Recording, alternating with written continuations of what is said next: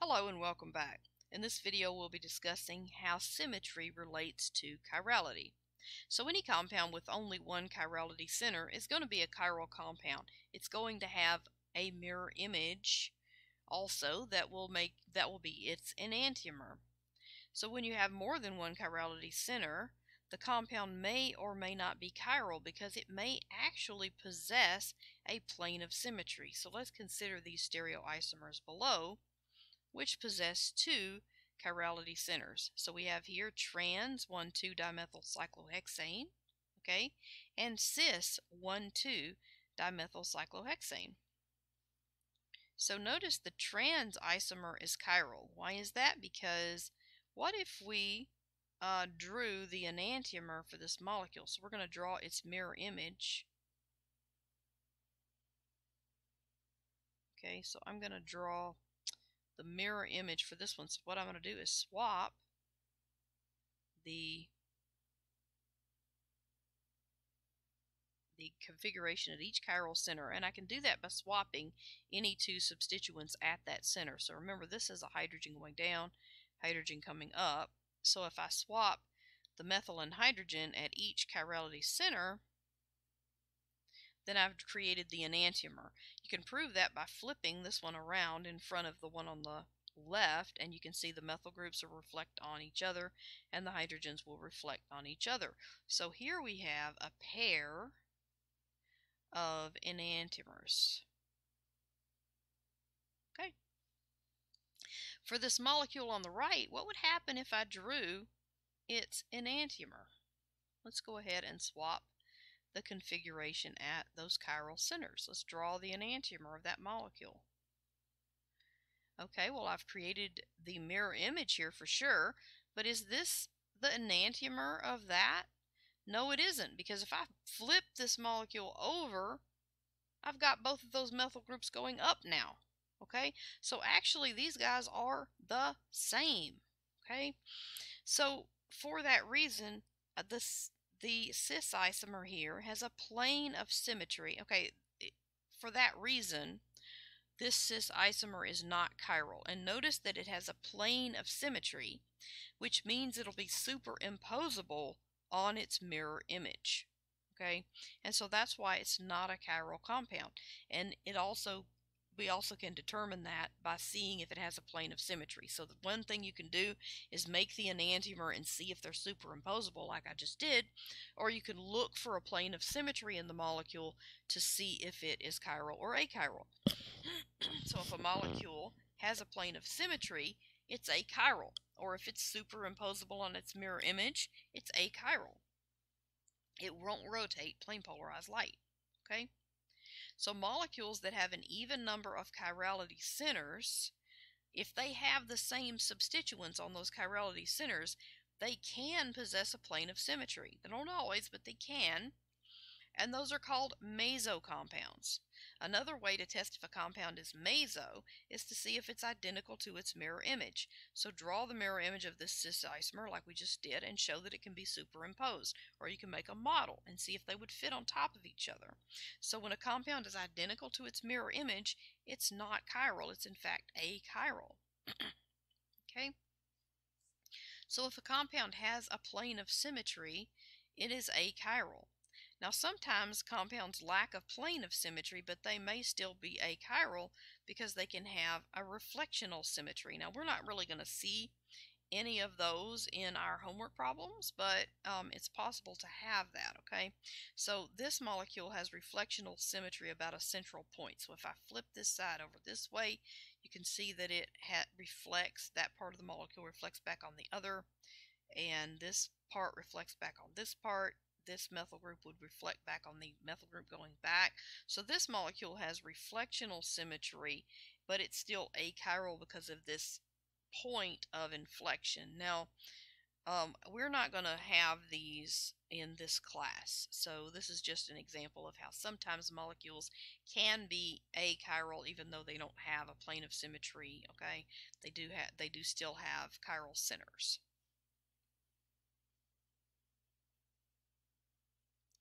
All right, so rotational symmetry is irrelevant to chirality, and we'll look at some examples of that later on. Well, I'll go back up and I'll show you what I'm talking about. So, like if you rotate this molecule, it might appear, okay, that it's um, rotating over and that it would be achiral. But that is irrelevant to the fact that it is um, chiral. It's still non-superimposable on its mirror image and therefore is chiral. Okay, so a compound that has a plane of symmetry is achiral. A compound without a plane of symmetry will usually be chiral but there are exceptions like we just saw, like a center of inversion. Okay. So a compound that has chirality centers but is achiral because of symmetry is called a mesocompound. And these compounds are mesocompounds. So we have a chiral center here. Let's look at this one on the left.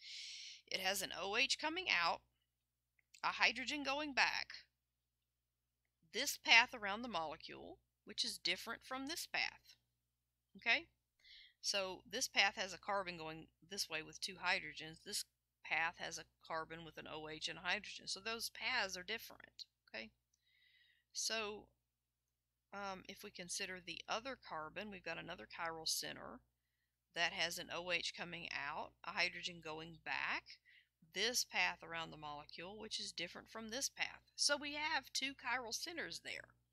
But because those chiral centers have a plane of symmetry such that they can reflect back on each other, this molecule is called a mesocompound, making it achiral, and it's also superimposable on its mirror image. Okay, so if we would predict that this stereoisomer, this molecule would have two to the n stereoisomers, so it has two to the two chiral centers, okay, which means that it have could have four stereoisomers, but we have less than that because two of those stereoisomers are superimposable on each other. Let's try to convince ourselves of that. So let's um let's consider, okay,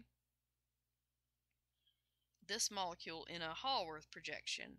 So we have, let's say we have an OH going up. Okay, so we have this chiral center here, we have two possibilities. We can either have an OH going up or an OH going down. In other words, we can have that OH coming out at us or we can have that OH going away. Now let's look at the second chiral center. Now we could have that OH going down or that OH coming up. Now I'm not talking about this molecule here. I'm talking about all possible stereoisomers. So in this one that I've drawn, I have one of the OHs going up and the other one coming down.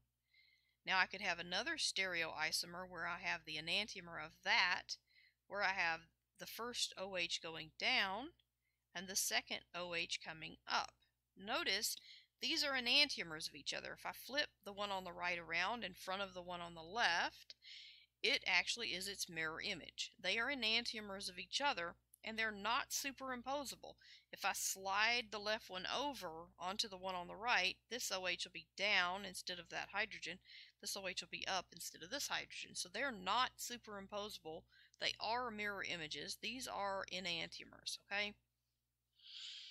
Now let's draw the next two possible stereoisomers. So remember we have four possible, okay?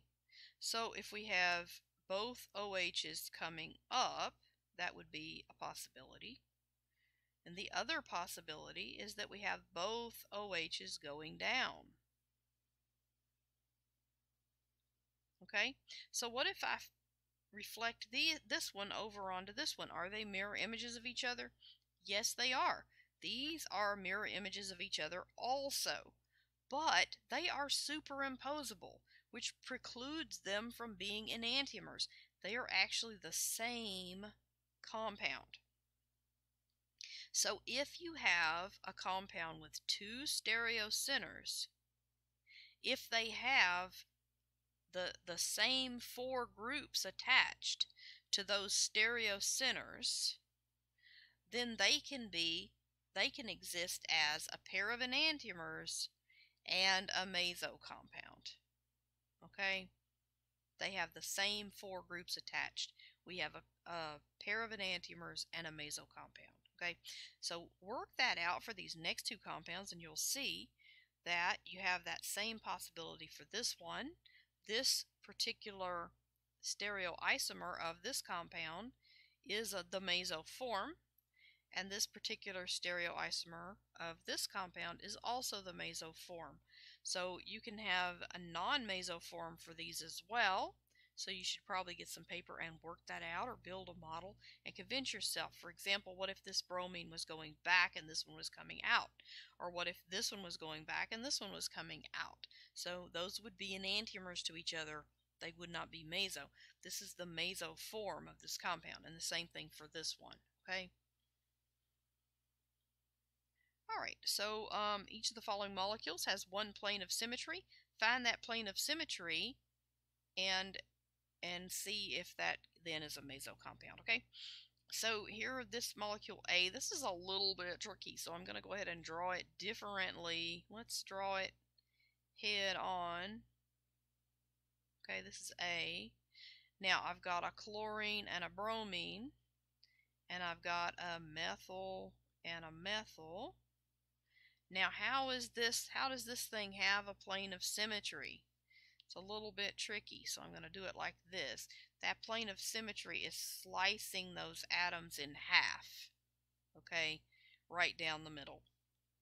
For the chlorine and the bromine, half of the chlorine atom is, is let me go ahead and redraw my molecules back in. Okay, I got CH3 here bromine here. So half of the, I'm sorry, that was a chlorine and bromine. Ugh. Erasing the wrong thing. Half of the chlorine is is um, reflecting back on the other half. Half of the bromine is reflecting back on the other half. Okay. All right, the next molecule has a plane of symmetry going this way. The next molecule has a plane of symmetry going this way. The next molecule has a plane of symmetry going this way, and the next molecule right down through the center of the molecule plane of symmetry.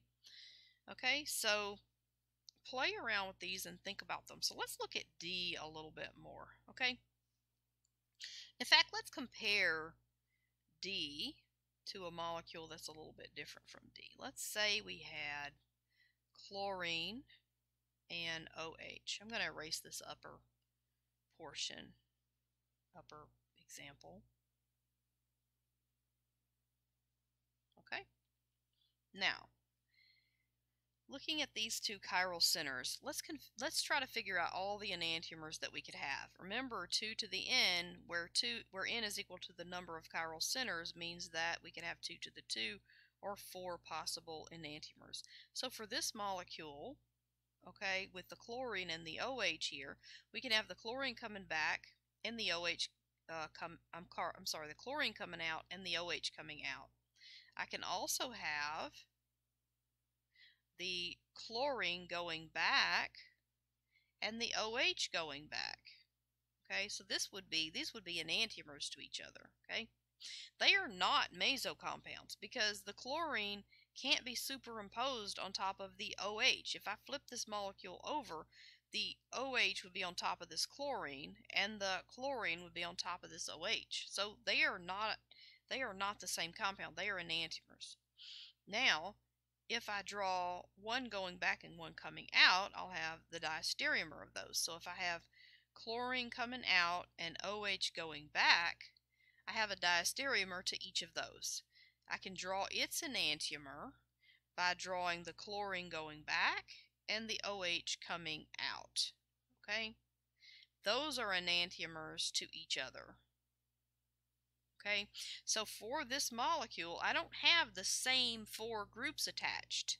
So I don't have a plane of symmetry. I don't have a meso compound. But when we consider D itself, it has the same four groups attached at each of those chiral centers. So this is the meso form of that compound. Each of those chiral centers has OH, okay, hydrogen, ethyl and this path around the molecule, which is the same as the OH, hydrogen, ethyl, and this path around the molecule. Okay, those are the same. Now I could draw the, the mirror image of that uh, particular molecule by drawing the OHs going back, but notice that it's superimposable on the one on the left. So those are the same, which means I don't have that set of enantiomers. Those are the same because that's the mesoform. It has a mirror, it has a um, plane of symmetry right down the center. Now what if I draw one of those OHs going back and the other one coming out? And then I can draw its enantiomer by drawing the left OH coming out and the right one going back. Now these are mirror images of each other because I've swapped the wedges and dashes, but they are not superimposable on each other. The relationship between these two is enantiomers. Okay, and make a model of this and convince yourself. And they are diastereomers to the mesoform. So this molecule only has three stereoisomers instead of the full four because it has a mesoform. Okay? So let's consider uh, doing that same thing. I already did this one. Let's draw all possible stereoisomers for the following compound. Each possible stereoisomer should be drawn only once. So I just did that B. I did it right here, okay? So let's consider A, where we have um, the methyl groups uh, in different configurations. So I could have both of those methyls coming out. Okay, I could have both of those me methyls going back. I could have one of the methyls coming out and one going back. And I could have the other one going back and the other one coming out. Okay, so remember 2 to the n would give us 2 to the second, which would be four possible stereoisomers. So let's, let's consider all of these. These two on the right are enantiomers of each other because they are non-superimposable mirror images. If I flipped this one over, it would not superimpose on the one on the left. It, they are mirror images of each other. They are enantiomers. But this set on the left are the same compound. If I flip uh, let's call these A, B, C, and D. If I flip B over, it'll slide right on top of A, meaning this is the mesoform of that molecule. So we only get three stereoisomers, not the full four. We get a set of enantiomers and a meso compound because these two chiral centers have the same four groups attached. If they had different groups, then they there would be the full four possible stereoisomers. All right, thank you for listening, and I'll see you next time.